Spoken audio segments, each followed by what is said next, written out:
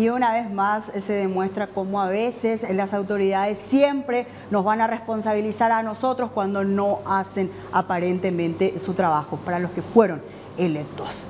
Y vamos a seguir con este tema porque los vecinos de la zona tratan de apoyar a esta mujer organizando una hamburgueseada eh, para la compra eh, de medicamentos. Y hablamos eh, de la Comisión Vecinal del barrio Itaputapunta de Asunción. Se unieron una vez más para asistir a esta mujer que fue víctima de este derrumbe del mirador de la zona y quien está luchando por su vida en el Hospital del Trauma. Cuestionaron la desidia de las autoridades y principalmente del intendente de la Municipalidad de Asunción, Óscar Rodríguez, quien nunca se ocupó debidamente del emblemático lugar según denuncian vecinos. Solamente se colocaron las cintas, no hubo un informe, no hubo una persona que haya venido a explicar la situación, supuestamente hasta que se repare, cosa que sabemos que no va a suceder, ¿verdad?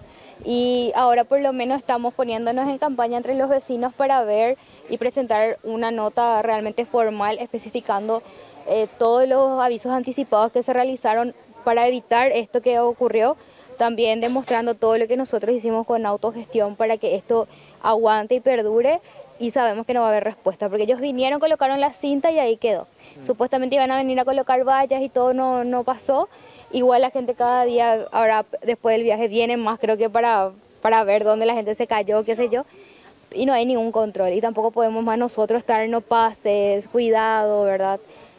Y vinieron a, clausurar y ya. Desde que esto se construyó, a simple vista se nota que no, nunca hubo un proyecto de mantenimiento, nunca realmente se, se, enfocó. Solamente cuando nosotros nos constituimos de forma legal y empezamos a hacer ruido, en la municipalidad empezó a colaborar ya haciendo con la limpieza, una sola vez vinieron a pintar también, ¿verdad? Es, la realidad, no solamente para atacar al municipio, sino que es falencia desde el intendente que encabezó este proyecto hasta el intendente actual, ¿verdad?